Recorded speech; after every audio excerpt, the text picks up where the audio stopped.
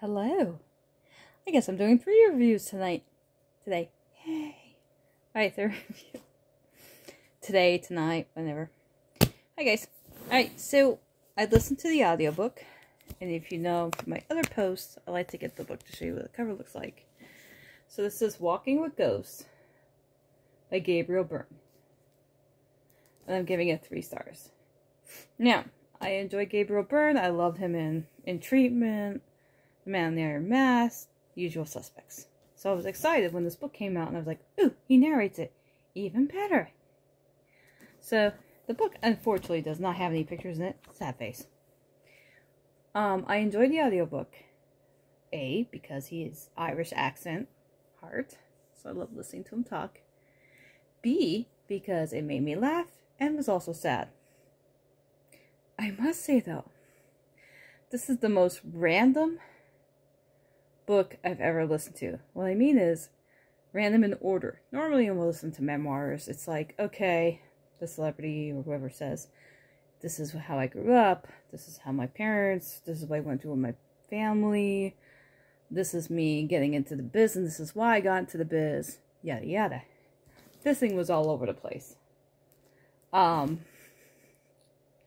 I mean, he talked about, I mean, when I say it's not even order, it's not in order. He just went in any kind of order. Um, so he talked about his doing his time at the theater. Um, he did talk about. He talked more about the Man in Iron Mask and some other movie. Was it Excalibur? Excalibur, which I don't think I've seen with him in it. Um, those were the two main movies he was talking about that he was in. Um, he briefly talked about the usual suspects, but that was during like the premiere of it, not really about movie making. It was mostly, that was just side. Mostly it was about his time growing up. Um, meaning walking with ghosts, he's talking about, you know, the people he knew in the past. Um, his neighborhood, the people he grew up with. He sang. He sang such wonderful songs in it.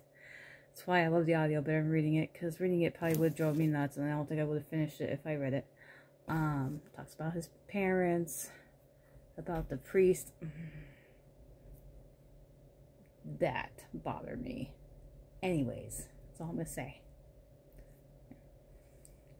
But all in all, great book. Loved it. If you like Gabriel Byrne, I highly recommend it. But if you expect to be in any type of order, it's not.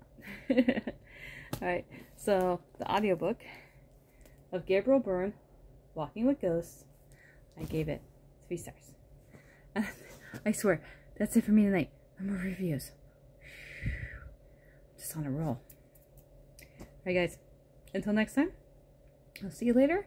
Happy reading and have a great night. Pleasant dreams. Bye.